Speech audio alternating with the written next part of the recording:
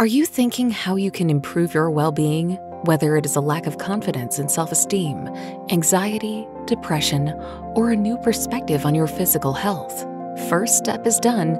It is now about finding the best, the fastest, and most innovative solution to your problems.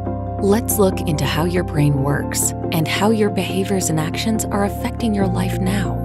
We are operating based on 5% of our conscious mind and 95% of subconscious and unconscious mind.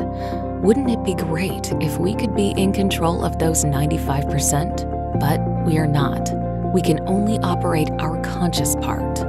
Do you think it is enough to create the life you want with those 5%? This is where rapid transformational therapy steps in.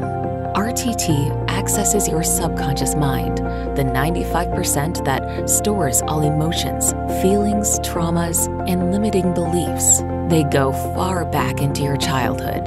You might have already forgotten about them, but your subconscious mind never forgets, never sleeps, and it doesn't know time.